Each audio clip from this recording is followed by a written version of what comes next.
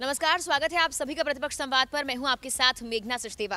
BJP और कांग्रेस ने लगभग अपनी लिस्ट जारी कर दी है। नामांकन हो चुका है। उत्तराखंड चुनाव के लिए तैयारियाँ जोरों पर हैं।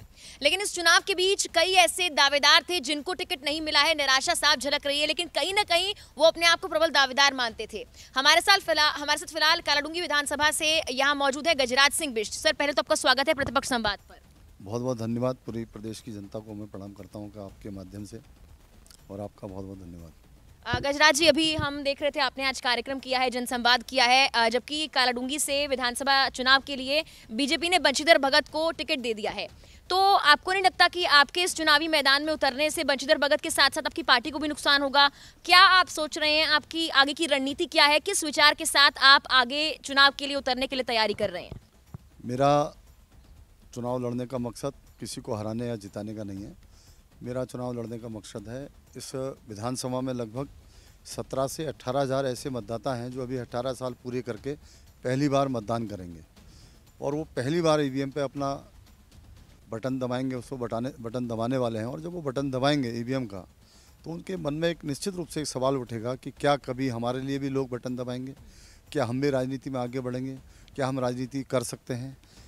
केवल उन लोगों की उस भावनाओं को देखते हुए कि आखिर जिन लोगों के पास गॉड फादर नहीं है, जो जिनकी दिल्ली में पकड़ नहीं है, जिनके पास पैसा नहीं है, जो गरीब लोग हैं, क्या उनका सपना देखना खराब है? तो मुझे लगता है कि उन सबकी भावनाओं की कदर करते हुए मैं इस चुनाव में कूदा हूँ। जहाँ तक मेरा चुनाव लड़ने का सवाल है, हमने, मैं पार्टी का सिपाही रहा हूँ, चौंतीस वर्षों तक मैंने वफादारी, ईमानदारी के साथ पार्टी का काम किया है निश्चित रूप से। और अगर आप पार्टी के भी सीनियर लोगों से पूछेंगे, उनका एक आपके सवाल का जवाब ये होगा कि नहीं, गजराज सिंह बिष्ट ने कभी भी पार्टी के खिलाफ कोई बगावत नहीं की कोई काम ऐसा नहीं किया जिससे पार्टी की छवि को धक्का पहुँचे। लेकिन पूरे देश में दो नियम भारतीय जनता पार्टी ने बनाए थे। पहला नियम था कि हम 70 प्लस वालों को आपने देखा भी होगा आपके आ, मीडिया में भी आया था कि 70 प्लस जितने लोग थे वो मुख्यमंत्री भी रहे हों उनको भी हटाया गया। और जो 70 प्लस थे कैबिनेट में मिनिस्टर हैं उनको भी हटाया गया। और एक नारा दिया गया था कि युवाओं को हम आगे बढ़ाने का काम कर रहे हैं। वो कालाडूँगी में वो तिलस्म कैसे टूट गया। दूसरा भारतीय जनता पार्टी ने उत्तराखंड में ये नियम बनाया था कि हम किसी भी मेयर को चुनाव नहीं लड़ाएँगे। आखिर वो नियम कैसे टूट गया? तीसरी बात जो मुझे नाराज़गी, मैं जिसके खिलाफ मेरी नाराज़गी है, तीसरी बात यह कि अभी इस ज़िले का आप सिनेरियो देखेंगे 2017 का, दान सिंह भंडारी बीजेपी से, राम सिंह केड़ा कांग्रेस से, संजीव कुमार, संजीव आर्या बीजेपी से, सरिता आर्या कांग्रेस से। और ठीक पाँच साल बाद उलट हो जाती है स्थिति। संजीव आर्या कांग्रेस से, सरता आर्या बीजेपी से, राम सिंह गढ़ा बीजेपी से, दान सिंह भंडारी कांग्रेस से।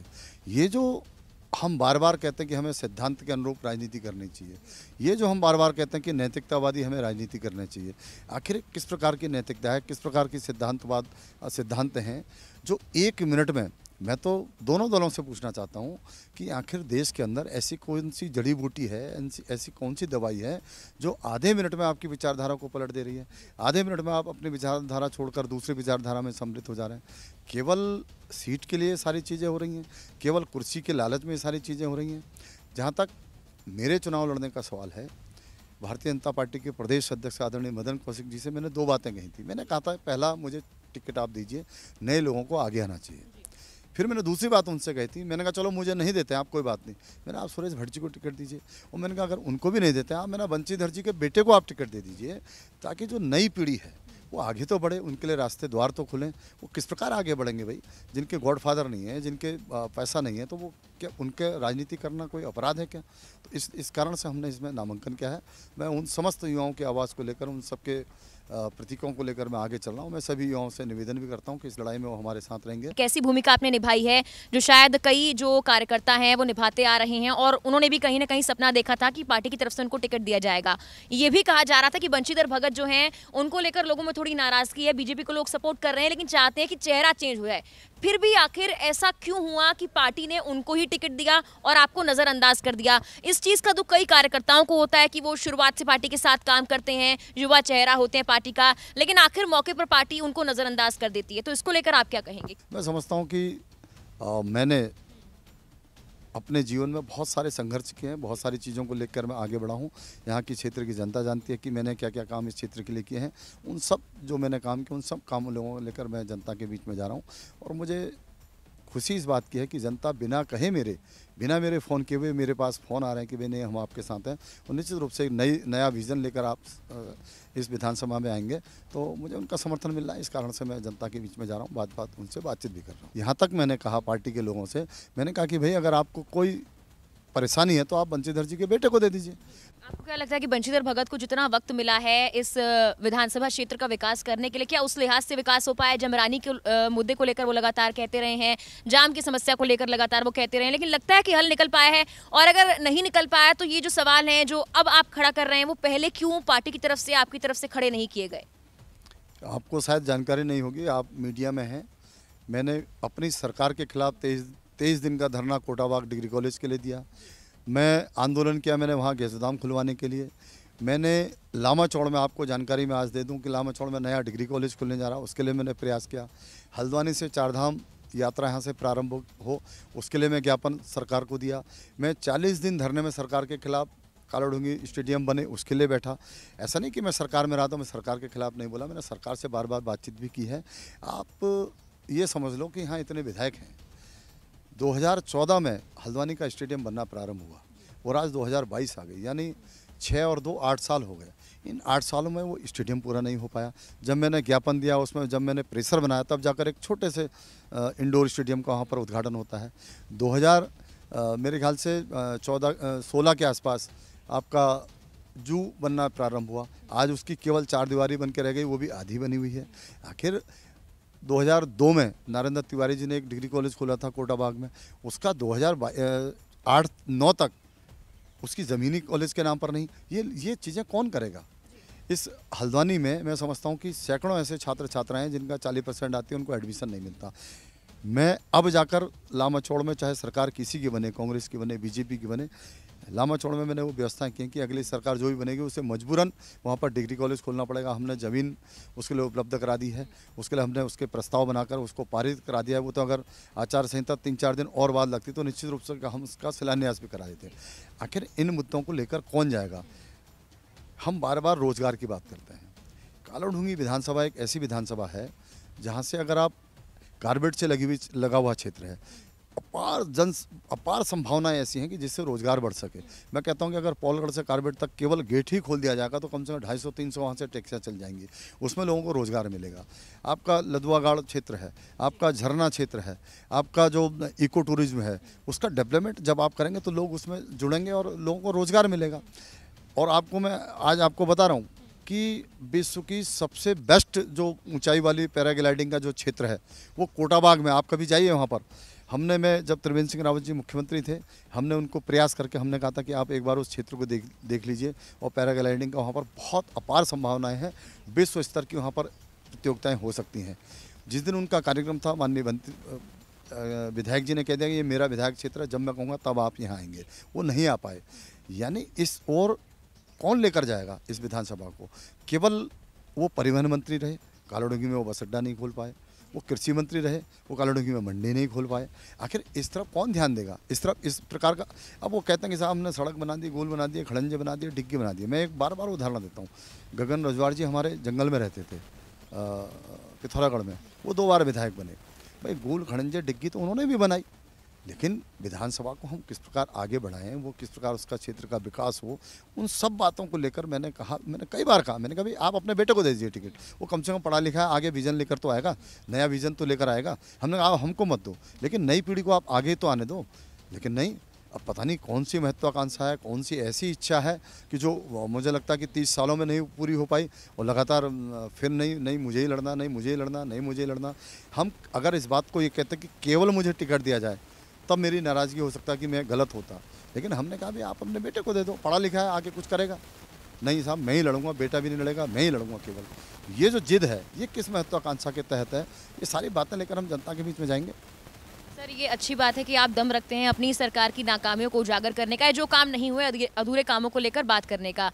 लेकिन आपको नहीं लगता कि अभी महेश शर्मा कांग्रेस से उतारे गए हैं, वो अपनी मज़बूत दावेदारी पहले प्रेजेंट कर रहे थे, उम्मीदवार बनाए गए पार्टी, कांग्रेस पार्टी को अपना विचार बदलना पड़ा, वहाँ पर उनको उतारना पड़ा और ऐसे वंशीधर भगत जो हैं, उनके कामों को लेकर आप बोल रहे हैं, यानी कि आप दोनों बीजेपी से बिलोंग करते हैं, वोट बढ़ जाएँगे और कांग्रेस इस सीट पर फ़ायदा उठा ली जाएगी, ऐसा नहीं लगता? महेश शर्मा जी लगभग दो बार निर्दलीय चुनाव लड़े हैं, तीसरी बार वो कांग्रेस से लड़ रहे हैं। मैं आपसे केवल इतना पूछना चाहता हूँ कि इन दस सालों में कोई ऐसा उनका बयान मुझे दिखा दीजिए, कोई ऐसी उनकी योजना दिखा दीजिए। ठीक है, आदमी चुनाव लड़ता है, हारता है, लेकिन हारने के बाद प्रतिपक्ष में रहते हुए भी तो कोई काम करने, किए जा सकते हैं। मेरे को केवल एक बयान अखबार में ये मिल जाए, एक बयान ये मिल जाए कि उन्होंने इस विकास के लिए इस बात को सरकार के सामने रखा है। मुझे एक बयान तो बताइए केवल वो भी वही सड़क की बात वो भी वही खड़ंजे की बात वो भी वही गूल की बात। मेरा कहना है कि गूल खड़ंजा सड़कें सब बनेंगी। मैं नहीं कह रहा हूँ नहीं बनेंगी। भाई चार करोड़ रुपये जो विधायक होता है उसको मिलता है सरकार बनाती है आज ये गली बनेगी कल दूसरी गली बनेगी। लेकिन आखिर विकास की बात कौन करेगा? इस विधानसभा को आगे ले जाने की बात कौन करेगा? मैं मैं, मैं तो खुलेआम मंच पर कह रहा हूँ कि महेश शर्मा का कोई एक बयान बता दीजिए, जिसने टूरिज़्म के लिए बात की हो, जिसने पैराग्लाइडिंग के लिए बात की हो, जिसने डिग्री कॉलेज के लिए बात की हो किसी ने जिसने कालाडूँगी में स्टेडियम की बात की हो, बताओ ना मुझे एक बयान, बताओ उनका। मेरा मेरा केवल इतना कहना है कि जब आप राजनीति में आते हैं, आप विधायक बनने जा रहे हैं या किसी भी क्षेत्र में आप आते हैं तो आपका विज़न क्लियर होना चाहिए कि हम उस विधानसभा को कहाँ से, किस प्रकार आगे बढ़ा सकते हैं। वो केवल वही बात साहब, इन्होंने सड़क नहीं बनाई, मैं आपकी गली बना दूँगा। गलियाँ भी बन जाएँगी। सड़कें भी बन जाएँगी, डिग्गियाँ भी बन जाएँगी, लेकिन जो रोज, बेरोज़गार जो युवा है, उसके लिए आपने रोज़गार के लिए क्या किया? मैं समझता हूँ कि जो कालढ़ूँगी विधानसभा है, वो इतनी अपार संभावना है उसमें रोज़गार की कि मैं कह नहीं सकता हूँ। लेकिन कोई विधायक भी, कोई प्रतिपक्ष का हो, पक्ष का हो, कोई काम करने को राज़ी नहीं है, कोई कहने को राज़ी नहीं है, काम तो छोड़िए आप। तो मैं इन सब बातों को लेकर जाएँगे, जनता इस बात को समझेगी, युवा भी समझेंगे, सारे लोग समझेंगे। चलिए सर, देखते हैं अभी जनता किसको मौका देती है। आखिरी सवाल ये है कि अभी एक ट्रेंड सा चल पड़ा है कि निर्दलीय चुनावी मैदान में कई बागी उतर रहे हैं और जब पार्टी उन्हें मनाने आती है तो वो पार्टी का साथ देने के लिए आगे बढ़ जाते हैं। लेकिन ऐसे में जनता की जो भावनाएँ होती हैं वो आहत होती हैं। जैसे आपकी आज जनसंवाद में बहुत बड़ी संख्या में लोग आए। जन समर्थन था, नज़र आ रहा था कि आपके सपोर्टर्स बहुत ज़्यादा नाराज़ हैं पार्टी से और आपके समर्थन में चाहते हैं कि आप चुनाव लड़ें। लेकिन अगर पार्टी आपको मनाने आएगी, पार्टी का बड़ा चेहरा आपको मनाने आएगा, क्या आप मानेंगे? और अगर मानेंगे तो आपको नहीं लगेगा वो जनता के साथ खिलवाड़ होगा क्योंकि वो भी चाहती है आप चुनाव लड़ें?